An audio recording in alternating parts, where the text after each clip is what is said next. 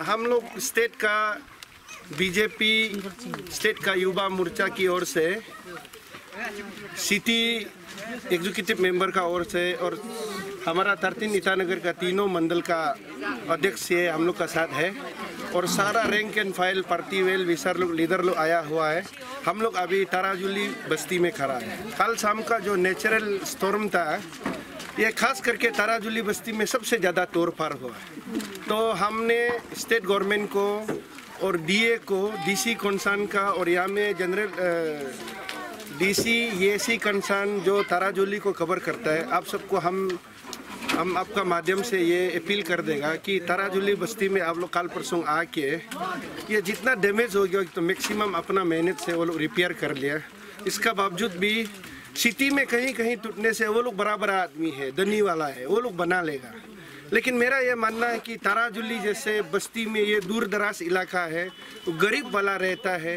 ये रिपेयर करने के लिए भी गरीब लोग तकलीफ़ है, इसलिए कोई कोई हम देखा है, रिलेटिव लोग आके खाना पीना ला दिया, मदद करके कर रहा है। इसलिए मेरा ये मानना है कि हम as a BJP vice president government को ये रिक्वेस्ट करेगा कि ताराजुली बस्ती में काइंडली आ जाओ ये न्यूज़ को सुन के।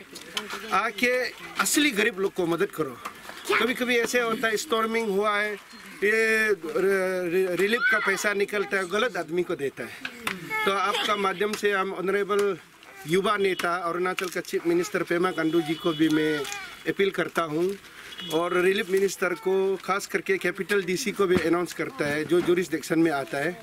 वो ताराजोली बस्ती में आए और यहाँ में जितना डैमेज हो गया, यहाँ का लीडर लोग को, औरत लोग को बात करके, वो रिलीफ देना चाहिए, ये मेरा रिक्वेस्ट है। और आप लोगों को एक किसी लोकल से भी बात कराएगा, शुक्रिया अदा करता है। और बस्ती वाला को हम ये बोलेगा कि, ये तो देखिए, किसी का अटैक नहीं है। ये भगवान का नेचर का एक सिस्टम है। भगवान का नेचर सिस्टम को कोई कुछ नहीं कर सकता है। इसलिए जेलना पड़ेगा तकलीफ़ होने से भी दिल बड़ा करो।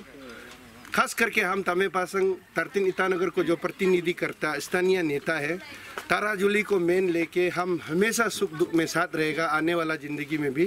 ताराजुली चिंता नहीं करना है हम लोग बीजेपी और तमे पासंग हमेशा आप लोग का साथ है। Thank you so much politics leaders और ऑफिसर और कैपिटल से जो सेवा करने के लिए आया हुआ लोग को और हमारा तराजुली का पब्लिक दीदी बहन, माँ पिताजी, भाई बहन लोग को सबको धन्यवाद।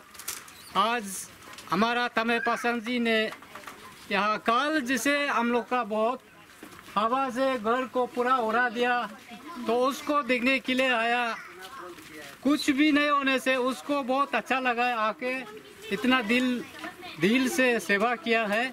उसको हम लोग बहुत अच्छा लगा है। और ऐसा है कि कल का आवाज़ जो ऐसा कमज़ोरी आदमी कोई कोई कोई जगह में मरा भी होगा शायद। हम तो हम भी बचने वाला नहीं था। लेकिन घर सोने का लायक नहीं है। काल खाल बात ये बाथरूम का अंदर हम लोग सो गया है। बिस्तर लगा के, पानी पाइप को बंद कर इसलिए ये आज आप लोग देखने के लिए आया हुआ आपको बहुत बहुत शुक्रिया अदा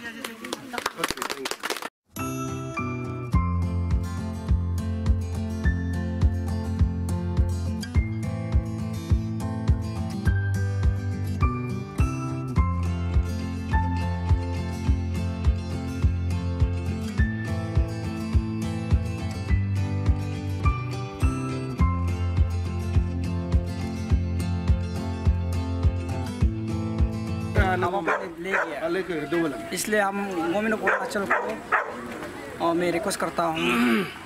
हम लोग का जैसे बोला गरीब आदमी को ऐसे दिख दुख तकलीफ़ को मदद करने से अच्छा है ये हम लोग का राय है ये हम लोग का ये सोच है। उपाय ने अभी पूरा तेना ले गया घर ले गया। उपाय नहीं है। ये हालत कितनी है। हम लोग इतना लेने के लिए भी नहीं है इसलिए गवर्नमेंट को अपील कर रहा है सी जी आई सी प्रोवाइड करने से बहुत अच्छा है। ये मेरा रिक्वेस्ट है। थैंक यू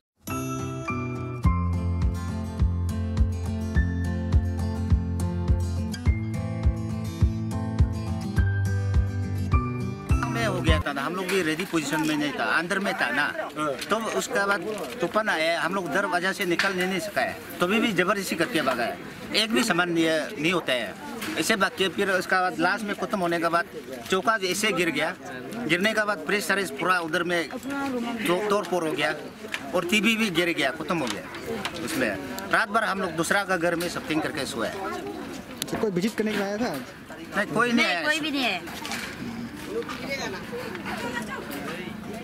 अभी ये सर आया है वही है। मिसेज है इसी हालत में आप लोग क्या मदद करने चाहते हैं ना? वो करने से अच्छा है। हम लोग गरीब आदमी है अभी देखो एक दिना को भी करने के लिए अभी पैसा ही नहीं है। रेडीमेड नहीं था कि तूफ़ान ऐसे आएगा बोल के मालूम नहीं था। अभी पैसा भी नहीं है। ऐसे हालत में बेहतर है। गवर्नमेंट आप लोग सकने से थोड़ा मदद करने से अच्छा है। आप अपील करो गवर्नमेंट को ये कॉलोनी ये वार्ड नंबर थर्टीन दोनी कॉलोनी से मैं यहाँ का जनता के सबसे मैं पेश कर रहा हूँ।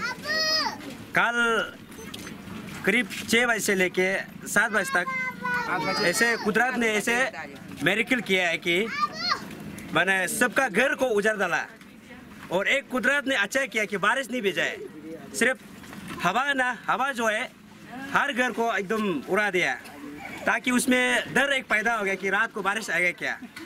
हमारे घर को भी उड़ा लिया।